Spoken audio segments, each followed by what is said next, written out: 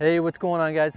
Welcome back to another episode of Develop the Ultimate Golf Game. As always, I'm your coach, Nathan Leonhardt, and today we're gonna move into a little bit more advanced techniques for the short game. So join me here at the Richmond Country Club as we help you become a better chipper, putter, and bunker player. So let's get into that right now.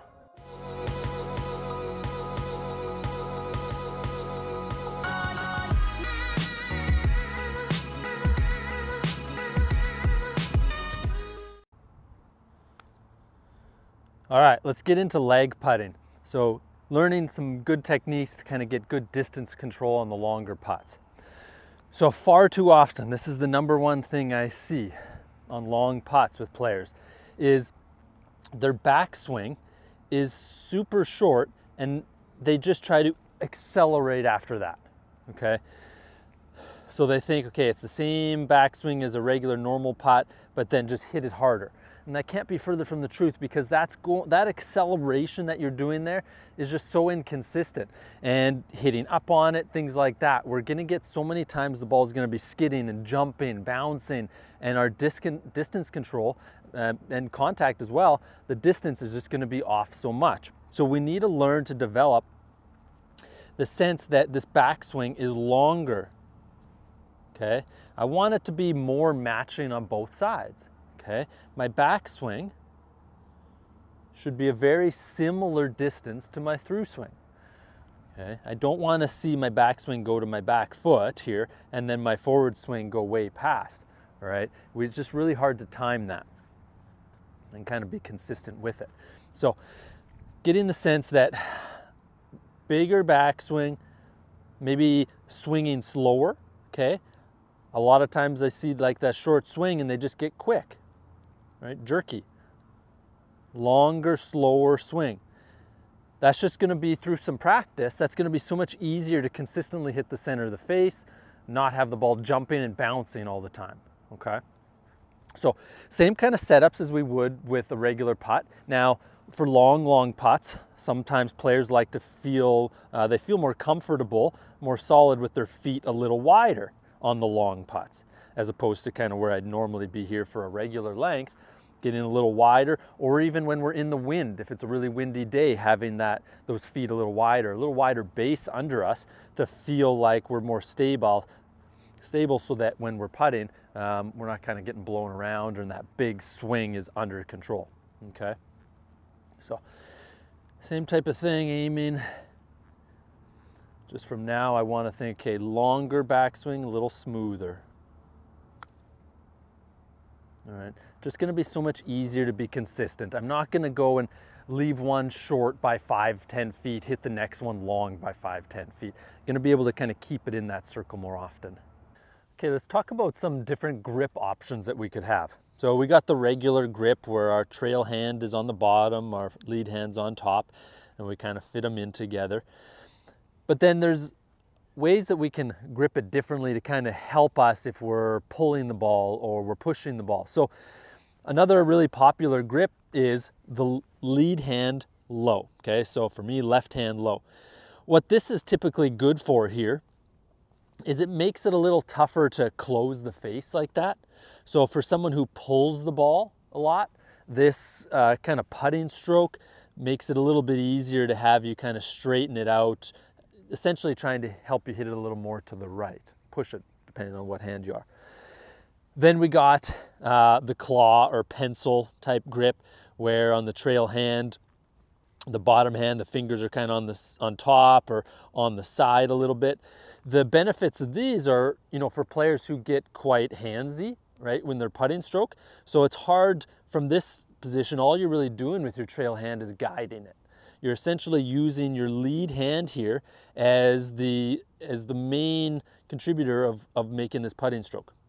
Okay, and that trail hand's just kind of guiding it. You know, I used this grip uh, years ago when I was when I was competing for a little while, and I felt, even though it feels a little unstable there when you first begin, it starts to teach you how to use more of your body, your shoulders and, and that to, to move the putter head because you don't have as much control there with your hands which for a lot of golfers is a good thing, right? To kind of get rid of some of that excess of hand movement, okay? And then another really uh, good one that I like is essentially taking your normal grip where that trail hand's on the bottom, but placing your index finger down the side of the shaft, down the side of the grip there, okay? This essentially kind of keeps your normal putting grip, but it's really stabilizing the club, okay? Stabilizing the putter head there, as opposed to when that index finger is around there, there can be a lot of kind of rotation sometimes, okay? So those are kind of three ones that I've, I've always liked, um, but try to find something in there that kind of helps mold to, to what maybe your errors are, right? If you're pulling putts, let's get that left hand low. If you're feeling like you're quite handsy, let's do some work just with the claw or pencil there, okay? And if you feel just a little unstable, it's not bad, but a little unstable with the putter face, get that trail hand index finger down the side of the shaft.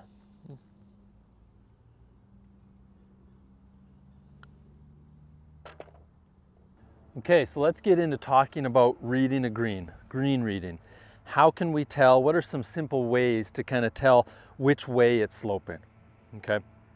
So obviously first and foremost, we gotta take a look. Now, the lower that we can get to the ground, the better, right? The more kind of uh, eye level with the ground, the better. Now, if we have edges around the greens, like say my, say there's an edge right here of the green where it's going off, get past that edge and get below the level of the ground, right? That's gonna allow your eyes to get more level with the ground. Use the slopes off the edge of the greens to help you get below and get your eyes level. Because that's so much easier when your eyes are like this, it's so much easier to see that terrain being sloped one way or another, okay? So getting down low first, checking it from another side, right? Again, getting low, but checking it from another side here. So for me, visually looking at this putt from that side and this side, you know, I get the idea, the sense that this side is, is higher than this side, okay? That's essentially what we're looking for. Which side is higher than the other? Uh, over here versus over here. My putt's kind of in the middle there, so I need to kind of think, how much is it going down now? I like to just um, think about high, medium, low, like the amount of slope, all right? A lot, medium, or a little. It's very simple that way. So what I want to do here, another way that we kind of look at this aside from just looking with our eyes is since I do have an idea of this slope visually going this way, I want to go over to the side and try to find the straight putt. Okay, so this is me kind of thinking, okay, I believe this is probably where a straight putt would be, somewhere right in here. All right, finding the straight line first. Then from there, I can go ahead and move to my ball and think, okay, am I, am I feeling like I'm going up a hill going this way, all right? Or is it just flat all over? Now I see visually it's a little uh, higher there. So as I go over here, now I get the sense of, okay, now my ball is on this side slope here, and I would say that this would be a little, okay? Again, we don't have to be perfect, it's just, let's not overcomplicate it. All right, so I found my straight side, I know that this one's gonna be going a little bit from the right to the left, okay? One other thing that, you know, I've always done in my career is feeling it with my feet, okay? So if I move this one out of the way, this putt here, if I stand to the side, right, and this takes practice just like anything, do I get the sense and I can kind of go back and forth. Do I get the sense that I want to more kind of fall this way or do I get the sense that I want to kind of fall back this way, right? And right now I feel like it's pretty hard. I'd have to lean back a lot to fall back. But if I lean forward a little, I have the sense that my body wants to go that way. So that's simply just telling me that in my feet here, right? Again, takes practice to get this sensation in your feet, but it's another way of telling you how, if it is breaking, first of all, and how much okay? Because if you don't really feel anything there, there's a pretty good chance there's not much break at all, right? And then there's times where you're like, oh goodness, yeah, there's quite a bit. And we just need to know that obviously depending on the length of the putt is going to change how much it breaks. So if I have, let's say I have a little amount of break on a five foot putt here, okay? This thing might break, you know, I might aim at the right edge type of thing. But if I have the same putt and I go back to 10 feet, well then obviously I can't play right edge. There's more ground to cover. There's more time to let this ball keep curving. I'm gonna have to be playing it out um, outside. So the further we get away, again, keeping in mind, we gotta know, is it a little, a medium, or a lot amount of break, I'm gonna just incrementally start aiming further outside the hole there as I get further away. Okay. So I've read it from both sides. I've kind of felt it with my feet and I could, if I'm really stumped, I could go on both sides of it, you know, step over your own line. Again, we want to make sure we don't get too close to the hole. That's just an etiquette thing because you can imagine other players, and this doesn't matter so much for just regular golf, but tournament golfers, you know, we don't want our feet to be tracking all around the hole because that's obviously going to impact the way the ball's bouncing as it's coming into the hole for the next person playing. So somewhere in between the ball in the hole, can kind of step over and get a sense, did I just walk downhill or uphill? Right? It's another way of doing it, right? If I just go like this, okay, I felt like I walked up a hill. The more you do it, the better sense you're gonna get of, is that a little, a medium, or a lot? So from here now, I'm gonna think, okay, I got this, you know, five-ish foot putt. It's a little break. I'm gonna go, I know it's turning, so if I hit a good putt that starts maybe just outside the right edge, I should have a pretty good chance of this thing going in with good speed, okay? So I'm kind of thinking with this, with putting, I'm kind of thinking if I can get that putt to be somewhere at the hole to a foot after. That's my personal preference. I'm not one that's trying to get it two feet past the hole after. Um, but we're all a little different and that's where we need to develop our own sense of is this a little break, a medium or a lot and how much we play with that. Because if you're someone who hits it hard, right, if you're someone who kind of bangs it into the back of the hole, the ball is traveling so fast it doesn't take the break. It just kind of motors right through the break until it slows down, right? So if I'm gonna hit it hard, I gotta play this thing inside the hole. I can't give the hole away and play outside. But if I'm gonna play it gently and have it drip in, I'm gonna have to play it extra, okay? So that just takes some practice on knowing what am I comfortable with? What kind of speed am I comfortable with giving this? So I'm gonna hit this about a foot past the hole, try to start it just outside the right edge.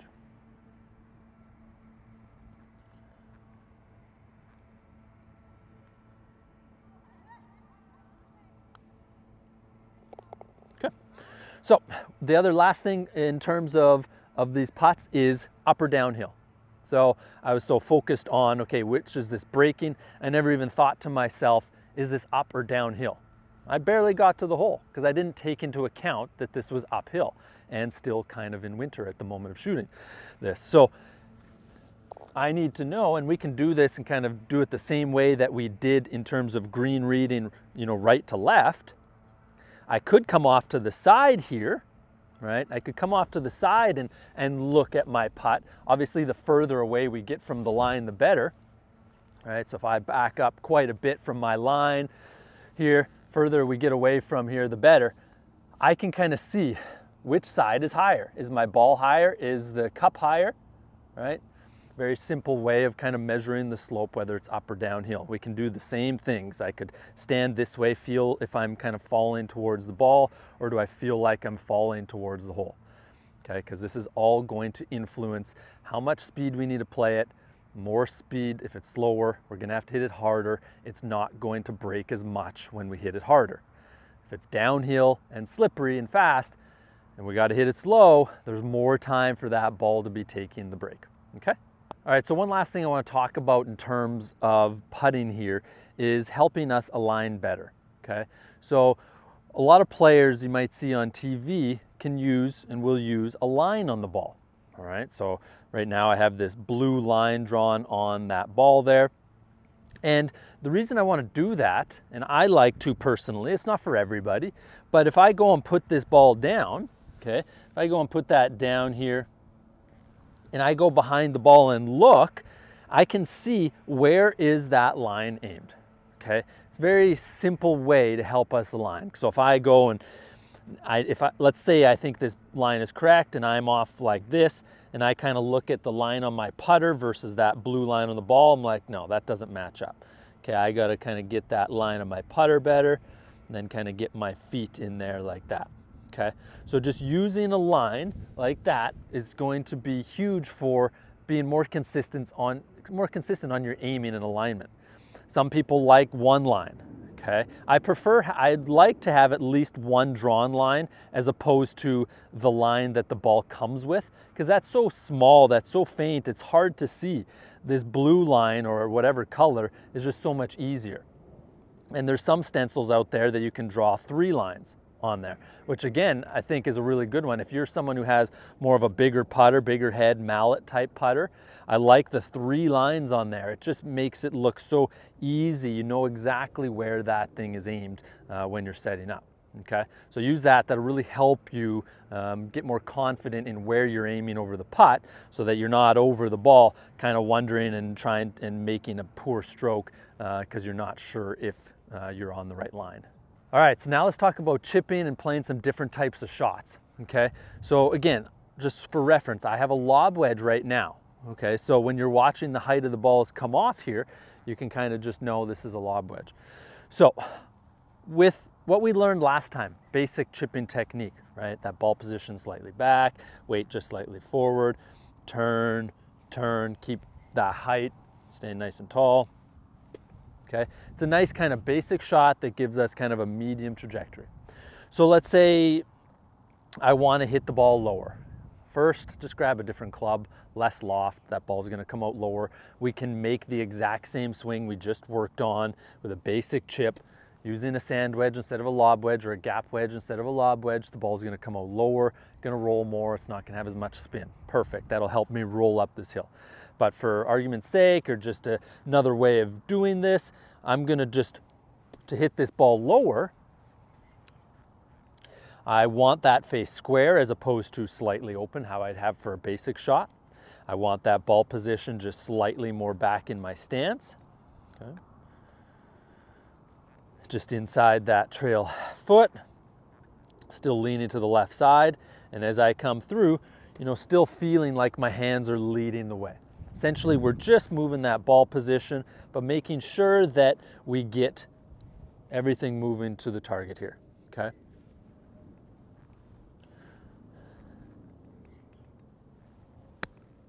So for a lob wedge, you can tell that's fairly low. But still, just so you know, that ball still will have some spin on it. So if you're going up a hill, I don't recommend it. It's hard to judge it, okay? Judge the spin. And then we have just a regular, you know, the regular chip shot. We'll just see kind of the height of that. Okay, comes off a little bit higher. So now's where I want to chat about hitting one higher, okay? A lot of times people think, and I'm talking about high, but not like flopping high. We'll get into that in a sec. A lot of people think they got to swing for this flop, even though on just most regular shots, all I want to do here differently is I want to open the face more. That's it. I'm making the same swing. Ball position can be more in the center as opposed to the back foot for a low shot. It's closer to center, but I'm just opening that face more. But from there, the action, the swing, the technique is all the same as the basic chip shot. Okay? Nothing needs to change. Again, we're trying to not complicate this, not make it so hard. And again, I'm, I'm teaching this and I did this as a tour player, teaching high level golfers still do stuff like this. We don't have to complicate it. All right, so opening that face, ball position could be maybe a touch more forward, just in the middle, right? And because that face is more open, it's gonna go higher, it's gonna go shorter. I'm gonna have to swing a little harder. All right, so face is more open. Swing a little harder, but everything back together, through together, everything's kind of the same technique. And that ball just kind of pops up a little better, all right? And again, that's gonna help you use the bounce, the bottom of the club better, so that if you hit behind it a touch, you still get away with it, okay? Now, since we're talking about that, a quick thing about bounce, okay? This is more advanced. Every club has a certain degree of bounce. So the higher the number, the more bounce it's gonna have. That means that it's good in soft conditions. So right now I have four degrees of bounce. I don't recommend this to anyone other than people who are at a very high level with their hands and chipping.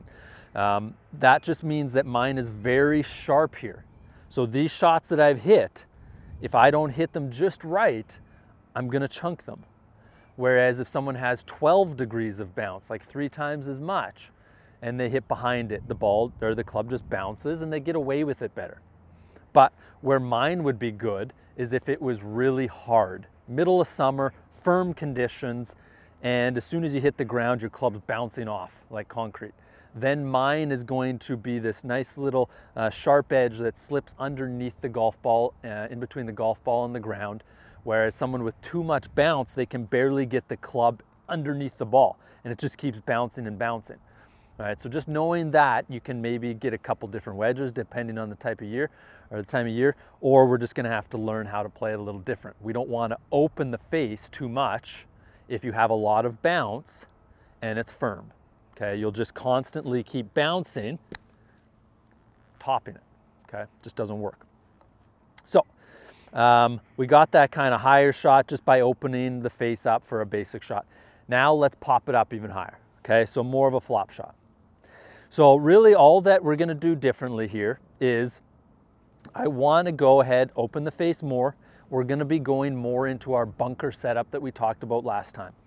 All right, wider stance, so our hands are lower, face is open, ball position slightly forward, leaning to our front side. We're gonna have more wrist hinge, we're gonna throw down at the ground more. Okay, this is obviously really tough to do if it's super soft and, and muddy okay? Your club will just go into the ground. As long as there's some, um, some level of firmness under there, will be okay.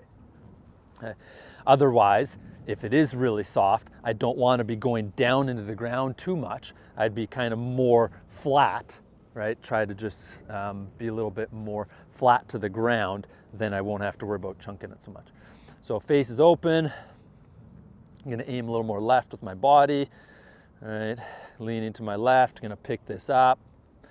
I'm not too concerned where this goes. I'm not usually gonna flop it from this spot. Uh, adding a little bit of acceleration and keeping that face open like we would with a bunker shot. Okay, so you'll notice straight up, and then it doesn't really go anywhere once it lands. Great shot to have sometimes, right? It's fun to do just to show off, or if we're in a really tricky situation, we just don't see it happening. We don't need it that often, okay? So play around with uh, these different ways of setting up to these shots just by club face, right, for the low, medium, high, and you become, as long as you keep more of the same swinging action, you'll become a much better chipper uh, more consistently.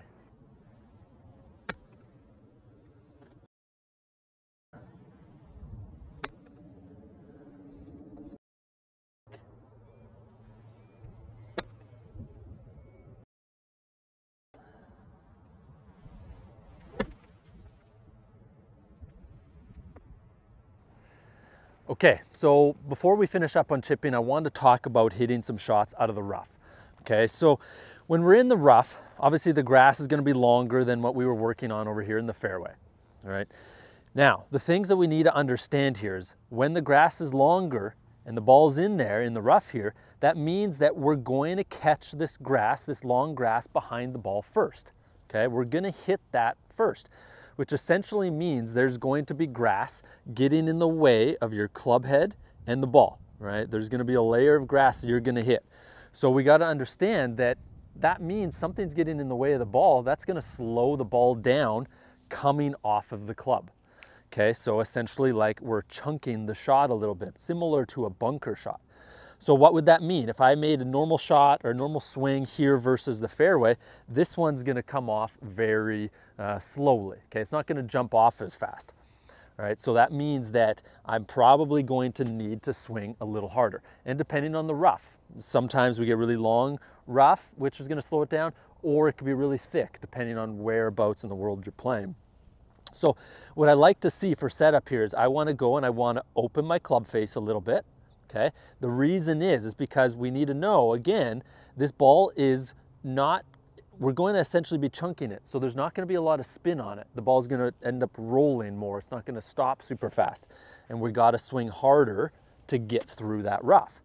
Okay, so I like to open that face to help me get that ball to pop up a little bit here, okay? Which allows me to swing a little harder to get through the grass without worrying my ball is just gonna go flying over the green if I did with a square, straight club face. From there, ball position, I like to put that ball position maybe a little bit more in the back of the stance here. Um, again, similar to regular chipping, but we're just looking to make sure that we're coming down into the ground a little steeper than we would with a basic chip shot. Because otherwise, when that ball's sitting in the grass and we come in here nice and shallow, like a good uh, fairway shot, we might just hit the middle of the ball and have it roll over the green. So I need to think about picking this club head up a little bit and throwing it down into the ground. Okay. Open face, ball back, pick that club head up a little bit, throw it down into the ground. Let it kind of pop up.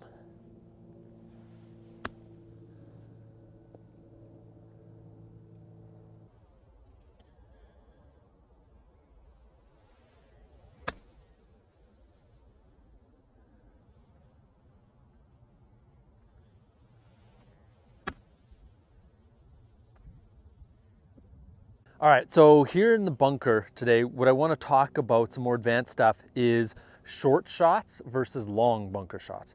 And then what I got is also, I've kind of raked it up to make this side a little more fluffy and this side nice and firm here. So talking about fluffy lies versus firm lies.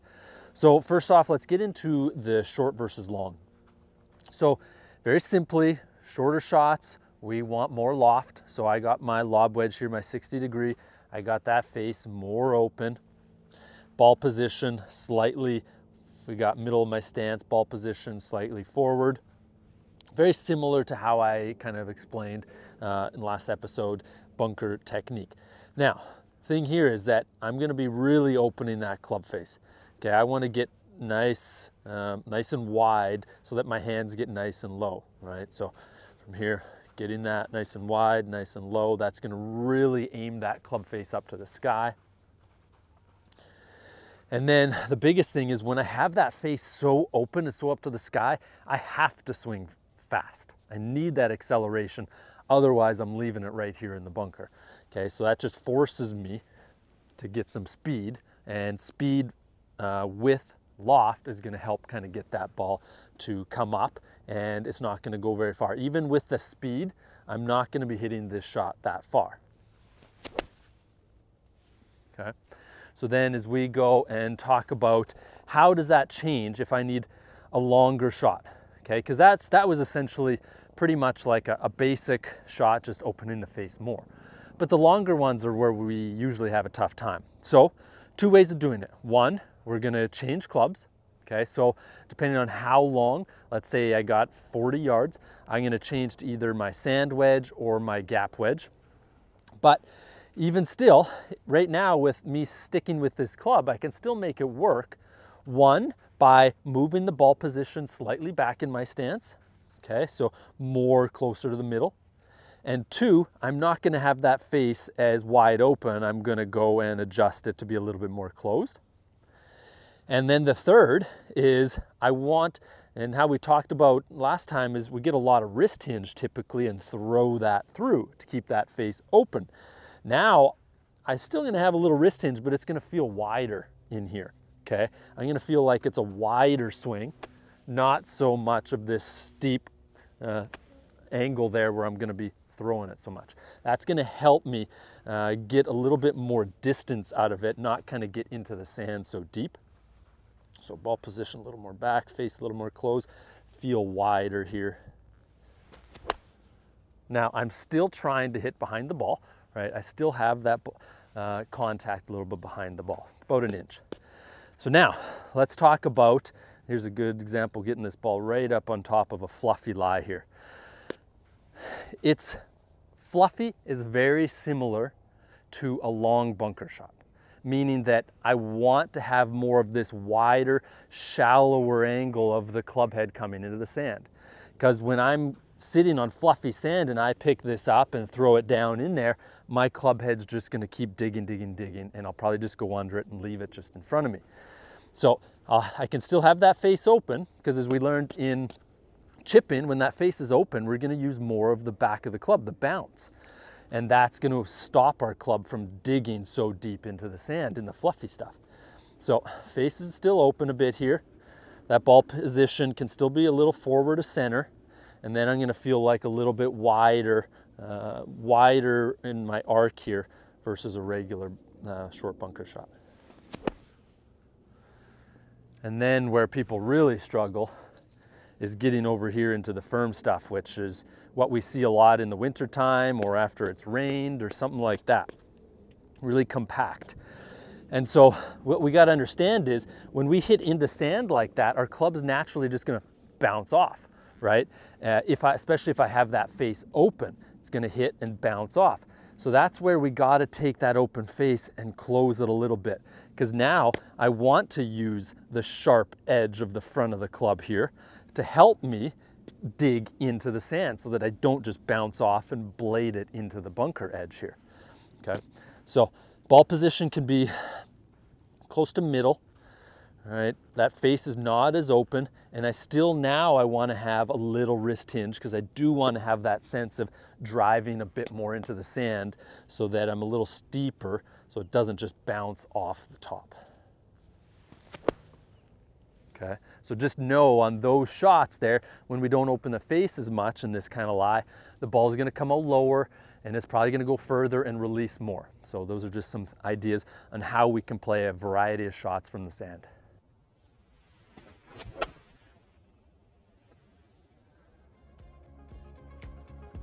All right, thanks so much for watching. I hope that you can take a few pieces away from those advanced short game techniques to help save a few shots around the green. So we'll see you next time on Develop the Ultimate Golf Game.